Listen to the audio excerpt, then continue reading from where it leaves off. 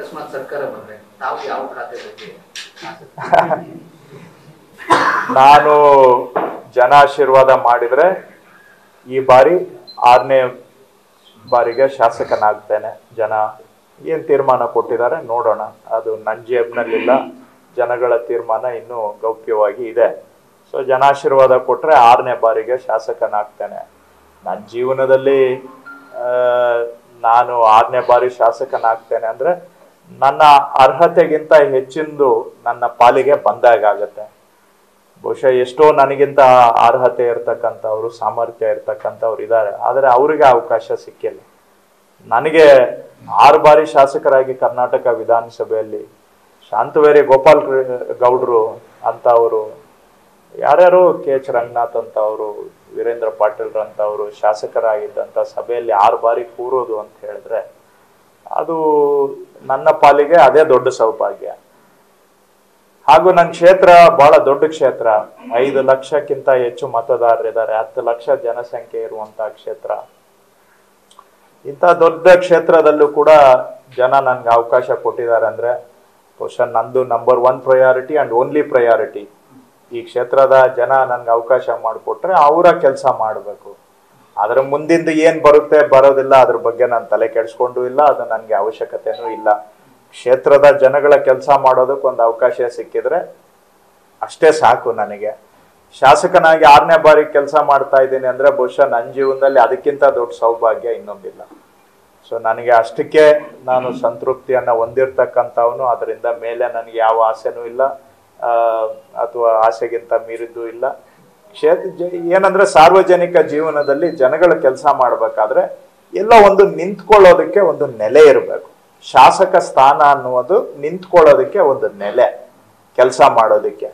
So ಹಾಗಾಗಿ ಅಂಥದ್ದೊಂದು ಅಷ್ಟು ಅವಕಾಶ ಸಿಕ್ಕಿದ್ರೆ ಸಾಕು. ಕೃಷಿ ಕಥೆಯನ್ನು ಕೂಡ ಸಹಜವಾಗಿ ಕೂಡ ಕೃಷ್ಣ ಬೈರೇಗೌಡರಿಗೆ ಒಂದಷ್ಟು ಒಂದು ವಿಚಾರದಲ್ಲಿ ಸಾಕಷ್ಟು ಅರ್ತಿರುವಂಥವ್ರು ಕೂಡ. ರಾಜ್ಯದ ನಾಯಕರಿಗೂ ಕೂಡ ಪ್ರಮುಖ ನಾಯಕರು ಮೇಲೆ ಅಷ್ಟು ಭರವಸೆ ಇರುವಂಥದ್ದು. ಹಾಗಾಗಿ ಅಷ್ಟೇ. ಯಾರು ಹೆಚ್ಚು ತಿಳ್ಕೊಂಡಿದ್ದಾರೆ ಅಂತ ನಿಮ್ಮ ಹೆಸರು ಹೇಳ್ತಾರೆ ಹೆಸರೇ ಬಂದಿದ್ದಾರೆ ನೀವು ಅಸೆಂಬ್ಲಿಯಲ್ಲಿ ಮಾತಾಡುವಂತ ಸ್ಪೀಚ್ಗಳು ಅವೆಲ್ಲವೂ ನೋಡಿದ್ರೆ ತುಂಬಾ ಅನುಭವ ಮತ್ತೆ ತಿಳ್ಕೊಂಡು ನೋಡಿ ನನಗೆ ನಾನು ನಾನು ಕೃಷಿ ಸಚಿವನಾಗಿ ಕೆಲಸ ಮಾಡಿದ್ದೇನೆ. ಕಾನೂನು ಸಂಸದೀಯ ವ್ಯವಹಾರಗಳ ಸಚಿವನಾಗಿನೂ ಕೂಡ ಕೆಲಸ ಮಾಡಿದ್ದೇನೆ. ಆ, ಪಂಚಾಯತ್ ರಾಜ್ ಹಾಗೂ ಗ್ರಾಮೀಣಾಭಿವೃದ್ಧಿ ಸಚಿವನಾಗಿನೂ ಕೆಲಸ ಮಾಡಿದ್ದೇನೆ. ಯಾವುದೇ ಕೆಲಸ ಮಾಡಿದಾಗ್ಲೂ ಕೂಡ ಆ ಹುದ್ದೆಗೆ ಗೌರವ ತರೋ ತರ ನನ್ನ ಜವಾಬ್ದಾರಿಯನ್ನ ನಾನು ನಿಭಾಯಿಸಿ, ಆ, ನಾನು ಕೂತ ಕುರ್ಚಿಗೆ ನ್ಯಾಯವನ್ನ ಸಲ್ಲಿಸಿದ್ದೇನೆ. ಆ ತರ ನನ್ನ ಕೆಲಸದ ಮುಖಾಂತರ ನ್ಯಾಯ ಮಾಡಿ, ಕೊಟ್ಟಿದ್ದೇನೆ. ಯಾವತ್ತೂ ನಾವು ಪ್ರಚಾರಕ್ಕೆ ಹೋಗದೆ ತಲೆ ಬಗ್ಗಿಸ್ಕೊಂಡು ಕೆಲಸ ಮಾಡಿ, ಪ್ರಾಮಾಣಿಕವಾಗಿ ಕೆಲಸ ಮಾಡಿದ್ದಾವೆ. ಹಾಗಾಗಿ ಅವಕಾಶ ಸಿಕ್ಕಾಗ ಯಾವುದೇ ಅವಕಾಶ ಬಂದ್ರೂ ಅದನ್ನ ಸಕ್ಸಸ್ಫುಲ್ ಆಗಿ ಮಾಡಿ ನಮ್ಮ ಸಾಮರ್ಥ್ಯ ಏನು ಅನ್ನೋದನ್ನ ನಮ್ಮ ಕೆಲಸದ ಮುಖಾಂತರ ತೋರಿಸಿದ್ದೇವೆ ಪ್ರಚಾರ ಕಡಿಮೆ ಇರ್ಬೋದು, ಆದ್ರೆ ನಮ್ಮ ಕೆಲಸದ ಮುಖಾಂತರ ನಾವು ನಮ್ಮ ಕೆಪಾಸಿಟಿ ಏನು ಅನ್ನೋದನ್ನ ತೋರಿಸಿದ್ದೇವೆ. ಹಾಗಾಗಿ ಯಾವುದೇ ಜವಾಬ್ದಾರಿ ಕೊಟ್ಟರು ಬಹುಶಃ ಅದನ್ನ ಸಮರ್ಥವಾಗಿ ನಿಭಾಯಿಸೋ ಅನುಭವನೂ ಇದೆ, ಸಾಮರ್ಥ್ಯನೂ ಇದೆ, ಹಾಗೂ ಪ್ರಾಮಾಣಿಕತನವೂ ಇದೆ ನಮಗೆ.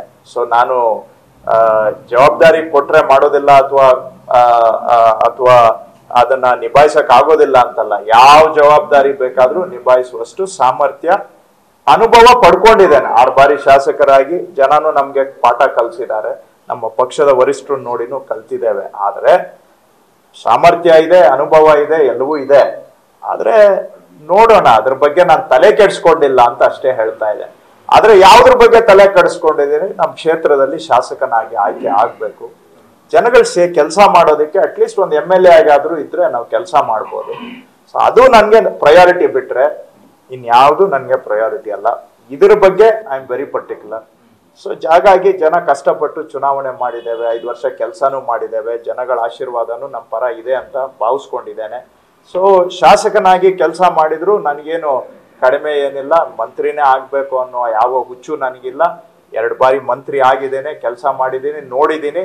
ಇವತ್ತು ಸಾರ್ವಜನಿಕ ಜೀವನದಲ್ಲಿ ಕೆಲಸ ಮುಂದುವರಿಸೋದಕ್ಕೆ ಒಬ್ಬ ಶಾಸಕನಾಗಿರಬೇಕು. ಅಷ್ಟಕ್ಕೆ ನಾನು ಆಸೆ ಇಟ್ಕೊಂಡಿದ್ದೀನಿ.